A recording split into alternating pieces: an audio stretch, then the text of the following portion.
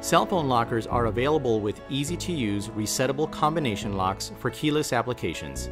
Resettable combination locks can be used with fixed combinations for single users or resettable combinations for multiple users. The lock has a simple four-dial combination mechanism. The assigned combination should be scrambled after closing the door. The compartment is now secured. A master key can be used to access the compartment in the event the combination is not available.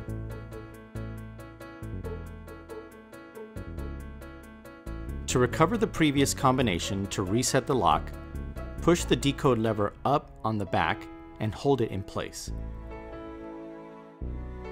Rotate each of the dials on the front until the dial clicks.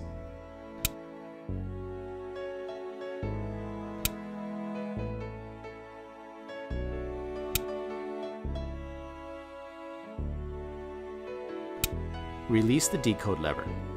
The previous combination has now been recovered and the lock can now be reset with a new combination.